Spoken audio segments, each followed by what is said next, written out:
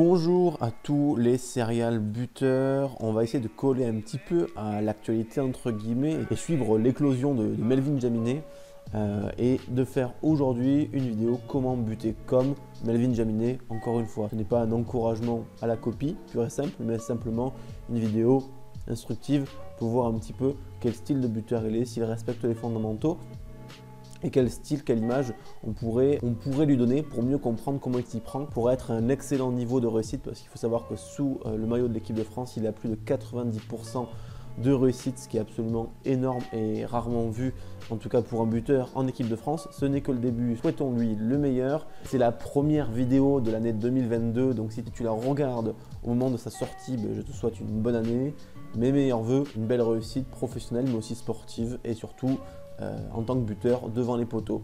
Donc avant qu'on commence, euh, pense surtout à bien t'abonner et à cliquer sur la cloche des notifications, c'est super important. Je viens de remarquer juste avant de lancer l'enregistrement qu'en fait plus de 75% des gens qui regardent cette chaîne en fait ne sont pas abonnés tout simplement. Donc pense à bien t'abonner. Et ça ne t'a pas et ça ne t'a pas échappé. Mais Melvin Jaminet est un buteur très précis mais il a aussi une sacrée patate. Il a aussi beaucoup de puissance dans les jambes. Si tu veux connaître tous les leviers, toutes les astuces et aussi toutes les erreurs à éviter pour gagner quelques mètres de puissance pour ton tir au but, pour essayer de, buter au-delà des 50 mètres et plus, regarde le premier lien en description. Je t'invite à une conférence en ligne 100% gratuite sur la puissance du buteur. Elle se déroule le mardi 11 janvier 2022 à 20h tapante. Pense à bien t'inscrire. Premier lien en description et on commence tout de suite avec le sommaire. Donc le sommaire, vous le connaissez, ce n'est pas la première vidéo de la sorte que je fais. On va essayer de le faire en 6 points, 6 chapitres. Le tee, position du ballon, pas de recul, routine, élan, frappe et une forme de conclusion. C'est parti. Alors pour le tee, il utilise euh, le tee euh, ajustable Gilbert vert et bleu. Euh, c'est un des plus hauts que Gilbert ait produit. C'est un tee qu'on peut surélever en, dévissant la partie verte sur le socle bleu.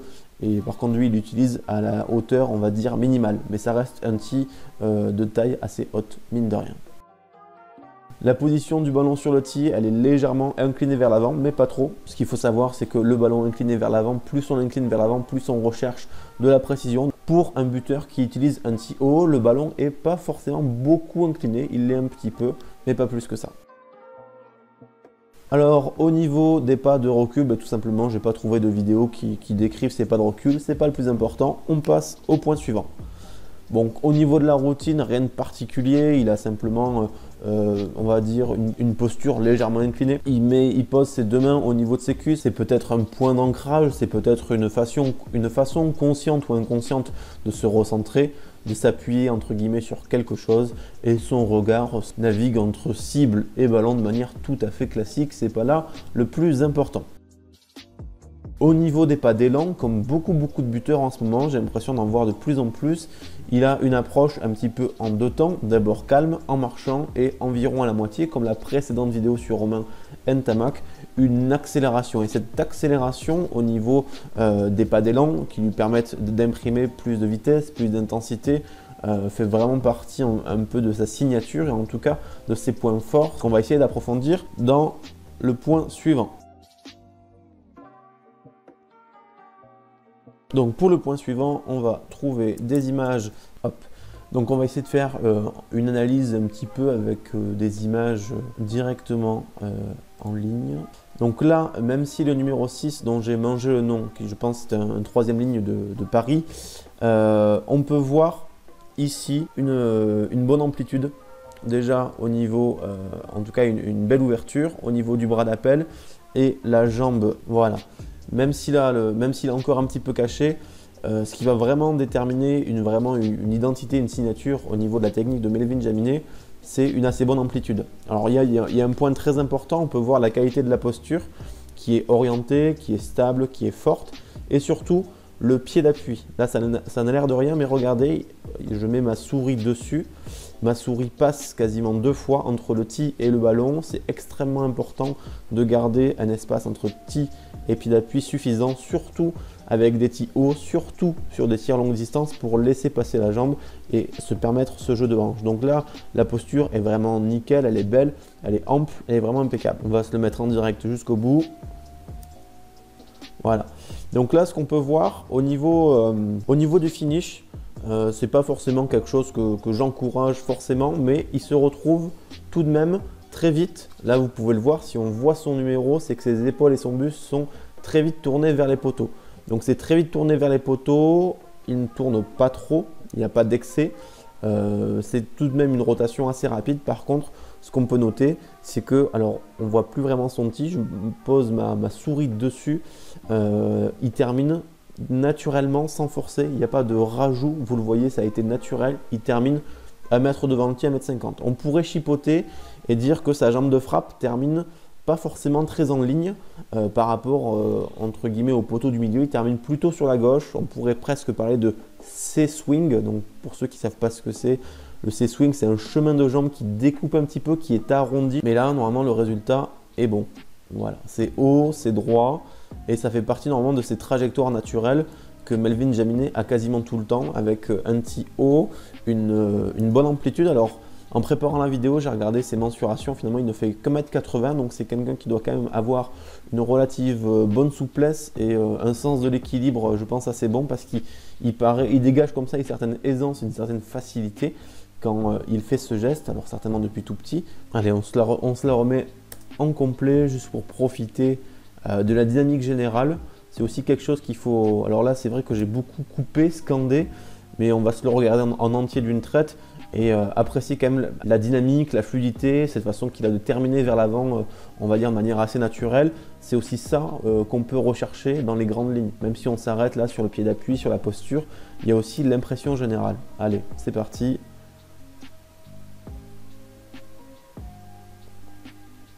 Voilà. Donc on va essayer de passer à un second tir pour aborder peut-être de nouveaux détails ou euh, euh, de nouveaux éléments. On va voir ce qui se propose devant nous. Donc là, il y a, aussi un bel angle de vue. Le buteur est, filmé de derrière. On peut voir toute sa technique. Là, on est au niveau des 40 mètres et je le trouve quand même plutôt, euh, facile dans sa façon de buter. C'est-à-dire, je trouve qu'il arrête, comment dire, il prolonge pas son finish. Alors certes, il finit devant naturellement, ça on l'a déjà dit, mais j'ai l'impression qu'il pousse pas énormément. Euh, et je pense qu'il a conscience euh, qu'il a largement les 40 mètres dans les pattes. Je le trouve ouais, assez court et euh, il avance pas plus que ça. Il fait pas le mettre en plus ici. On va essayer de trouver une autre, une autre pénalité, une autre transformation peut-être où il va chercher un petit peu plus loin. Vous le voyez aussi ici, là il termine un tout petit peu plus en avant. Donc on va mettre un ralenti pour apprécier voilà, la dynamique générale et faire un bon arrêt sur image au bon moment.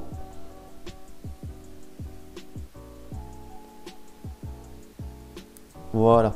Alors là, vous le voyez, dans la précédente vidéo sur Romain Tamac, j'en avais parlé. Là, c'est sur un court instant, mais regardez bien son pied gauche, donc son pied d'appui qui va glisser sur la tranche. Voilà, son pied glisse un petit peu et son pied d'appui termine un mètre devant. Ça, c'est vraiment quelque chose que vous pouvez rechercher euh, chez vous, sur votre terrain. Comment euh, prolonger euh, ce transfert d'énergie, comment prolonger votre technique et ne pas l'arrêter au moment de la frappe, ne pas couper votre effort, ne pas vous arrêter au niveau du tee et juste prolonger un petit peu. Et cette prolongation est vraiment cruciale et c'est ce qui permet parfois à des, buteurs de devenir des, très très bons buteurs. Voilà. Et là, la trajectoire est une nouvelle fois haute, droite.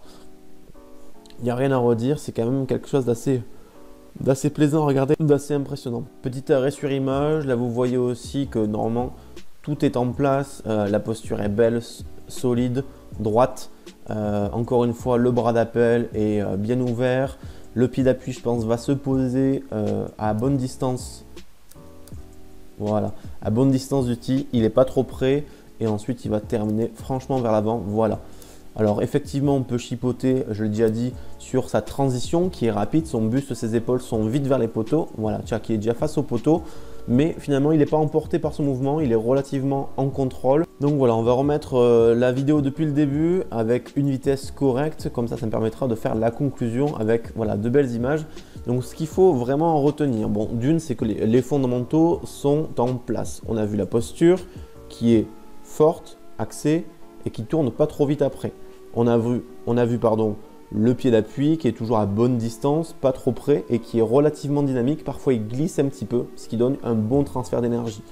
Ensuite, le, fameux transfert d'énergie, le G-Swing, alors qui n'est pas parfait, parfois sa jambe euh, n'est pas strictement en ligne par rapport à la cible, au poteau du milieu, mais euh, la dynamique générale permet de compenser. Et ensuite le bras d'appel, alors là je fais pas... le bras d'appel c'est vraiment le dernier des fondamentaux, entre guillemets celui le, moins important, là il est maîtrisé, il est bien ouvert, il permet d'accentuer l'amplitude qu'il a, et aussi il a une fonction d'équilibration du corps, euh, qui est parfaitement respecté. Là, on voit qu'il est tout le temps bien équilibré et qu'il envoie vraiment une bonne énergie. Ces deux principales qualités qu'il arrive parfaitement à bien coupler, euh, c'est d'une l'amplitude. Alors moi, je pensais qu'il était plus grand que ça. Finalement, 1m80, c'est pas si énorme, mais on a l'impression qu'il peut bien s'ouvrir. Il s'ouvre bien, il a une bonne amplitude, il a un si haut, ce qui lui permet d'avoir tout le temps des frappes assez, assez hautes. Et ensuite, cette amplitude, cette ouverture est couplée à un élément très important, c'est la vitesse. Alors même s'il a une approche euh, des pas d'élan relativement lent jusqu'au bout, il accélère vraiment au dernier moment. Je vous garantis que le moment de vérité, euh, c'est-à-dire entre, en gros entre ici et ici, est assez rapide. Il a un mouvement de jambe pas mal, pas mal accéléré. Alors ça peut être une prise de risque quand c'est mal contrôlé, ça peut augmenter les probabilités d'erreur d'un mauvais contact de balle parce que plus la jambe va vite, plus le pied va vite, plus on peut contacter la balle de manière euh, imprécise, avec les orteils, avec le talon. Là ça ne semble pas le cas vu la qualité de ses trajectoires et son pourcentage de réussite. Donc c'est un buteur qui joue beaucoup sur l'amplitude couplée vraiment avec la vitesse. C'est pas deux qualités à part, c'est vraiment deux qualités qui sont en synergie, euh, qui fonctionnent très bien on va dire que dans, son profil, s'il arrive à avoir un contact de balle, euh, on va dire propre, il n'y a pas forcément de gros gros risques d'erreur parce que le reste euh, est relativement simple. J'ai parlé des pas d'élan qui sont relativement en.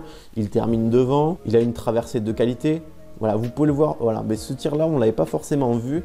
Euh, on va essayer de conclure là-dessus. Regardez sur ce tir courte distance, où est-ce qu'il termine? Il termine là aussi un mètre devant. Il force pas forcément, il met pas une intensité de dingue, mais il termine toujours, pam, un mètre devant. C'est une récurrence euh, dont je vous parle souvent dans mes différentes vidéos. Euh, ça n'a l'air de rien, mais s'il vous plaît, pensez-y, intégrez-le euh, à votre technique si vous pouvez. Euh, toutes les techniques n'ont pas besoin de terminer 3 euh, mètres devant, parfois 30 cm, 50 cm ça suffit, mais pensez-y et si c'est déjà fait, ben, euh, vérifiez bien que vous le faites en match et notamment sur les tirs qui comptent. Voilà, j'espère ne rien avoir oublié. Encore une fois, si tu es intéressé pour la puissance en tir au but et de gagner de précieux mètres, le premier lien en description t'enverra vers une conférence gratuite. Il n'y aura pas de replay, ce sera vraiment la toute dernière que je fais 11 janvier 2022 à 20h. Inscris-toi bien.